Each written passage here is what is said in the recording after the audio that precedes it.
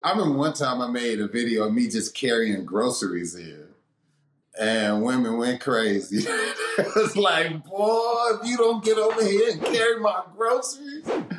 I was like, damn.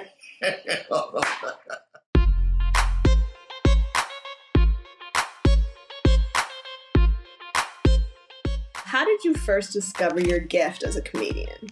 How I first discovered my gift as a comedian was through a friend of mine. Um, I never knew that I was funny. People laughed at me, but I didn't. I just thought they were laughing at just how I thought. And uh, there was other people like, man, you should be a comedian. You should be a comedian. They was like, just go on stage, and I said no. And then he was like, I bet you fifty dollars you will you won't go on. And then that's when I was like, 50? He was like, yeah. I was like, I'll do it. $50, I'll do it. And we went down there and I couldn't get on stage. And then I went back the next week, they wouldn't let me on either.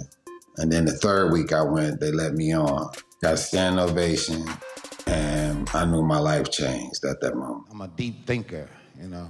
That's how I like to do. Think real deep, smoke something, lay back, let my mind take off. I be thinking about stuff people don't know about, people ain't even thinking about. Like, for example, why isn't there any B batteries?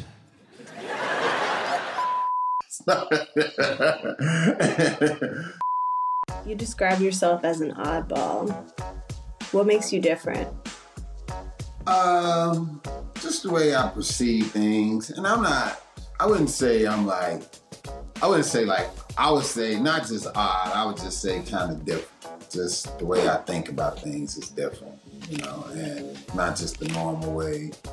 You know, I just look at things differently or whatever. And I think that's that's that's also not only in my stand up, but just in my character. Like me being like the only child, I've always analyzed things myself. And still to this day, I do that. Somebody could trip and fall in front of me and my friends. They'll laugh. I'll be more like, why they, why they falling? Like they didn't, they didn't see that chair right there. Like I saw it. I ain't tripped. Did you see it? You ain't tripped neither, right? So what, what was he thinking about? Let's let's go ask him what what like. I will go into straight detail about what was you thinking about that you didn't see this big ass chair here that you fell on. Like I want, I really want to know that. And they'll be like, and then what? I'll be like, then that's it. I just, I just want to know.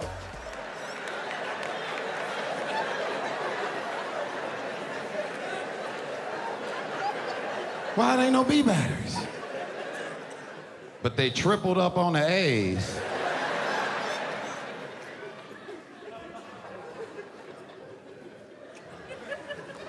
What the B stand for black battery?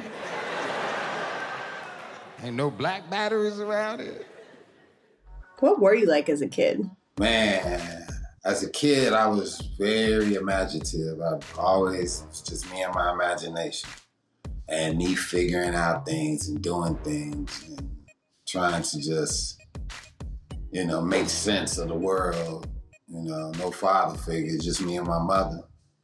And my mother trying to make make money for us to eat. Me being by myself or whatever, it just was me and my imagination, just thinking and thinking all the time. I just always was like that, you know, and uh, yeah, just I'm very I'm a very very quiet dude though. Like I've I've let down a lot of people when they met me because they think I'm a comic and they think I'm gonna be like yo and all that. But people came around me like yay, and I'll be like, what's up? like, well, Aside from being quiet, what's something most people don't know about you?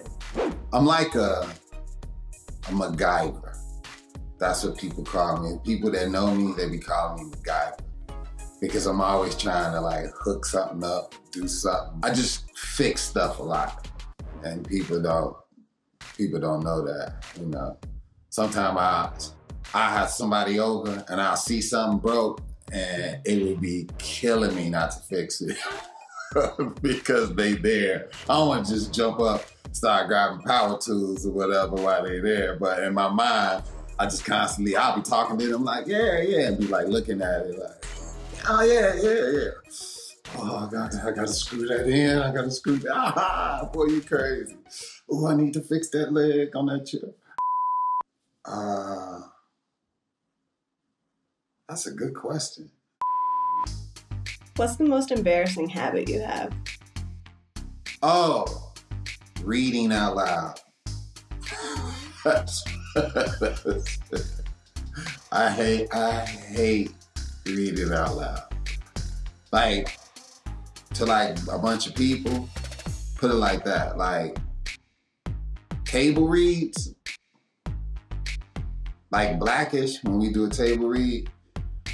When it's coming to me, when I'm like, when it's time for my, I know when my scenes is coming up, and I'm sitting there, heart thumping, and I'm like sitting there with my finger on the words, and I'm just waiting. I know my scene, and right when it hit to me, I just be like, yeah, and and and and if you do want to come in the door next time, knock.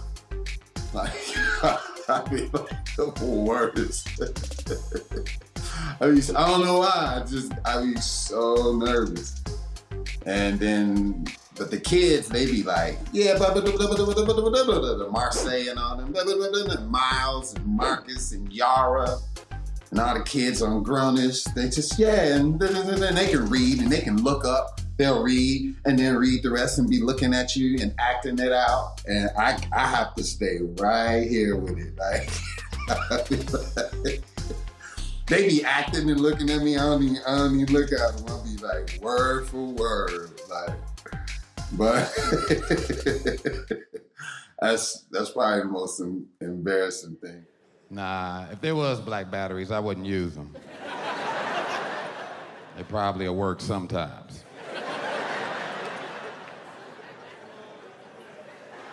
yeah, that's hilarious. Trying to be all pro-blackness. Uh, uh, uh, mm. We don't talk that way in D.C., D.I. You can go back to Chicago with all your chitlin ways. We don't do that here.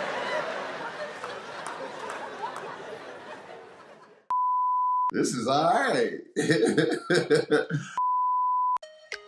What's one talent you wish you had? I wish I could play the guitar. I thought about taking guitar lessons.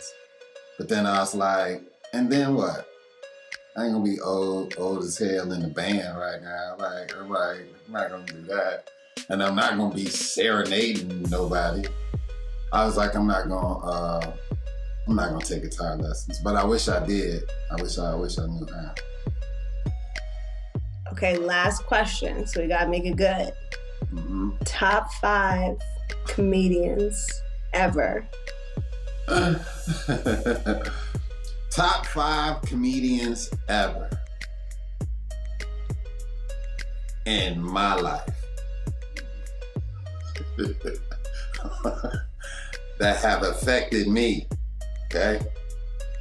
Top five comedians Richard Pryor, Lenny Bruce, Eddie Murphy, Redd Foxx, George Carlin, Bernie Mac. Six, five, was it? Let me try it again. Richard Pryor, George Garvin, Eddie Murphy, Dave Chappelle,